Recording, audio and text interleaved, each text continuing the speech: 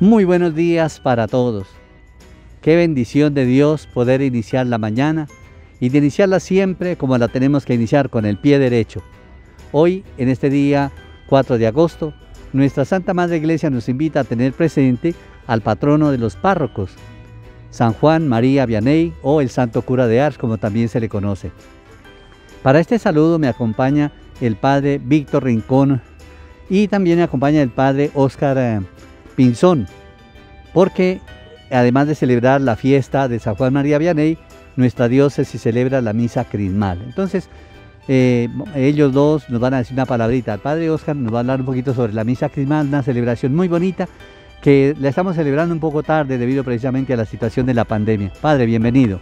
Cordial saludo, señor obispo, también a todos un saludo muy especial en este 4 de agosto.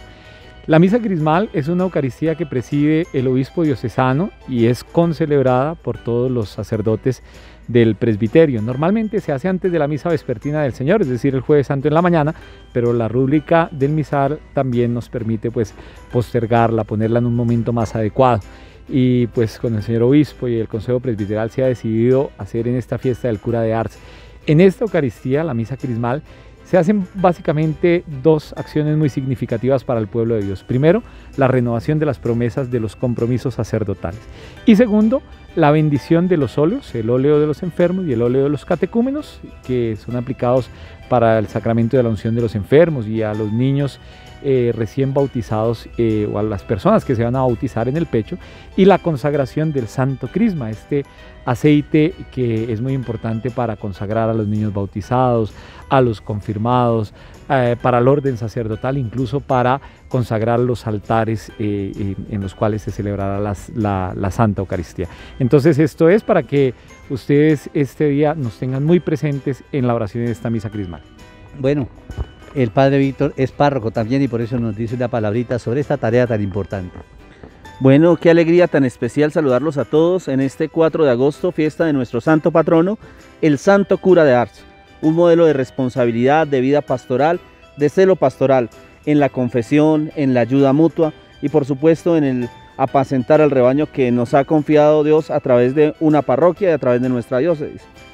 Qué alegría tan especial también que estos óleos, estos sagrados aceites que serán consagrados en este día, serán utilizados en las diversas parroquias de nuestra diócesis con mucha responsabilidad para el bautismo de nuestros niños, para la administración de nuestros enfermitos, para también en la confirmación que el señor obispo presidirá a cada uno de nuestros jóvenes durante este año y es una alegría muy especial.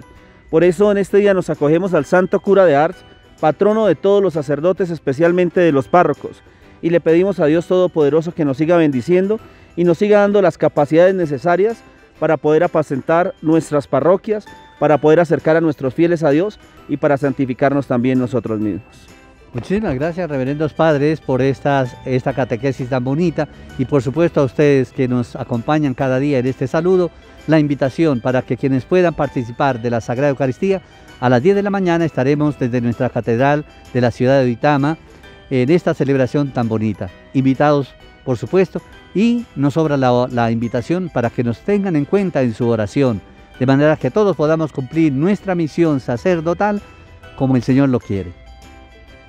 Nos encomendamos a nuestra Madre, la Madre sacerdotal, la Santísima Virgen María. La bendición de Dios Todopoderoso, Padre, Hijo y Espíritu Santo, descienda sobre todos y permanezca para siempre.